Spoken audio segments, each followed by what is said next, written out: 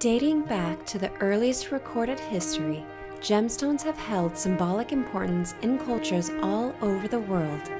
Many gems are believed to possess special meaning or have distinct properties, each one unique in color and significance, but all connected by intrinsic beauty. If you are looking for gemstone jewelry, whether it be rings, necklaces, or bracelets, Matthew Stephens has the largest and most unique selection you won't find anywhere else. If you would like to see more of our incredible gemstone jewelry, call into our store and have one of our diamond specialists assist you. We look forward to seeing you soon.